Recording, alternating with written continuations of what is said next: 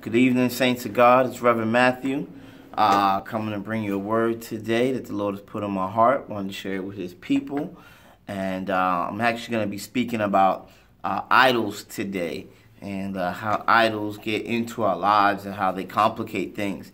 And I'm pulling out texts uh, today from the uh, book of Habakkuk, actually coming out of Habakkuk chapter two, and I'm probably going to touch a little bit of Romans one because I think uh, that these scriptures are so intertwined that I really believe that uh, the Apostle Paul uh, read uh, the book of Habakkuk, especially chapter 2, uh, right before uh, beginning to write the book of Romans. And, and, and, there's a lot of similarities between the two, but we're going to look at some things. I want to start at the book of Habakkuk, which is one of the Old Testament prophets.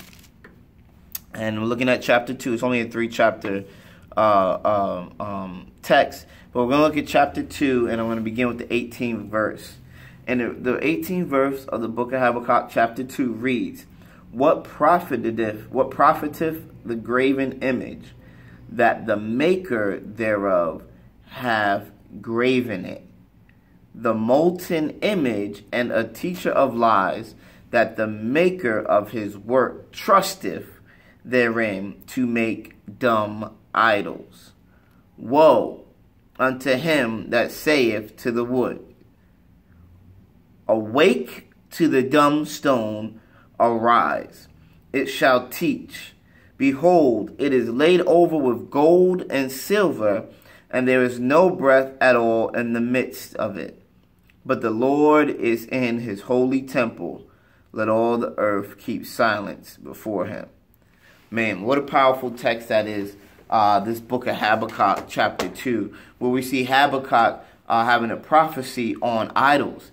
And what the text is basically saying is, Woe or pity unto him that say to the wood, awake or to the dumb stone arise. Back in the day, they used to make idols out of wood. I, uh, you know, you have the old uh, obelisk looking, uh, uh, the graven images, or you have, uh, they would take stone and they would build a, a, god out of it and they would worship it all the way back to uh, Abraham's um, father.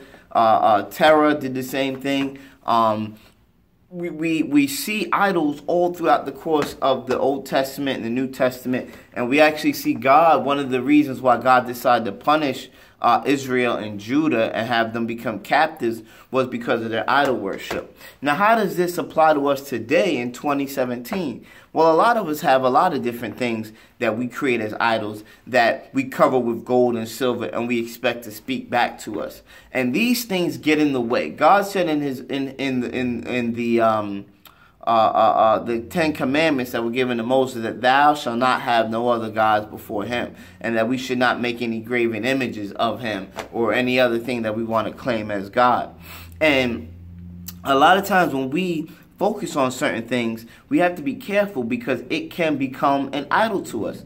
Our job can become an idol. We want to have so much success in our particular uh, uh, field of employment that we can start to idolize it and, and have it take its place of God. We start to worship the job more than we worship the God that provided the job to us and that gives us the feet and the legs and the common sense to go to work to provide uh, to do these jobs. Amen. We also see in um, uh, uh, we also another thing that could become a, uh, an idol. Our cars or our money. You know, our money can become an idol. We can we can become so um, uh, money hungry that uh, money becomes an idol to us, and that we uh, want to obtain do anything to obtain money, to obtain riches. our relationships, our spouses could become our idol, where we can start to begin to worship our spouse in a way that is that um, interferes with our relationship with God. Our children, I've seen this happen before where we can say, oh, we love our children so much, but you can love your child to the point where if you put your child before God and before your relationship with God, your child now has become an idol and has disrupted the uh, uh, very fabric of the relationship that you can that you have with our Lord and Savior Jesus Christ all these things can become idols. Uh, like I said, homes, cars, uh, uh, uh, jewelry, money, relationships, children, all these things, if we're not careful, can get in the way and we can begin to idolize the very thing that God has blessed us with, whether it be a relationship, a child, uh, a car, a home, a job, or income, and we start to worship that thing over the very creator. Paul mentions this in Romans 1. I'm going to read a very powerful text in Romans 1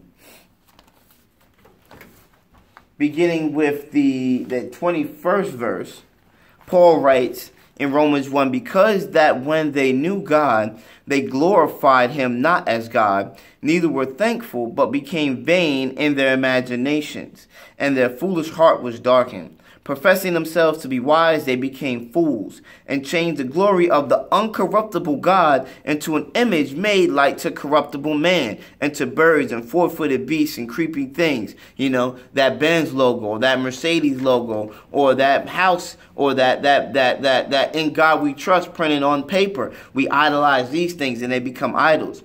Wherefore God also gave them up to uncleanness through the lust of their own hearts to dishonor their own bodies between themselves. God has now begun to sear your mind because you have idolized something over God and you have idolized the creation over the creator. Who changed the truth of God into a lie and worship and serve the creature, here it is, more than the creator who is blessed forever. Amen. And that was Romans 1 21 through 25. So we have to be careful. Um, in life, not to create idols, not to create something that is going to separate us from God, not to create something uh, uh, that can take the place of God, where we begin to idolize and begin to worship that thing. And we talked about some of the things that we uh, have challenges with worship, with, with, with challenges with making sure that we keep in its right place. We always have to be thankful of God because God gives us these things. God gives us our homes. He gives us our cars. He gives us financial stability. He gives us uh, our relationships. But he, and he gives gifts without repentance.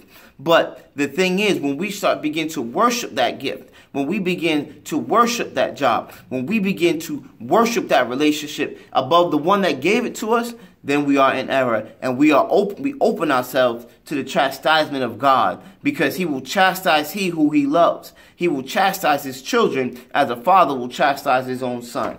So I just pray that we can keep things in perspective as um, you know, as we become goal oriented as people, as we start to move forward as people, as we continue to obtain uh, favor from the Lord, that we be careful not to idolize the favor, amen, and always give honor to the one who has given us the favor. And that is only one, our Lord and Savior Jesus Christ, who is our intercessor between God and man. I pray this has blessed you in Jesus' name. Amen.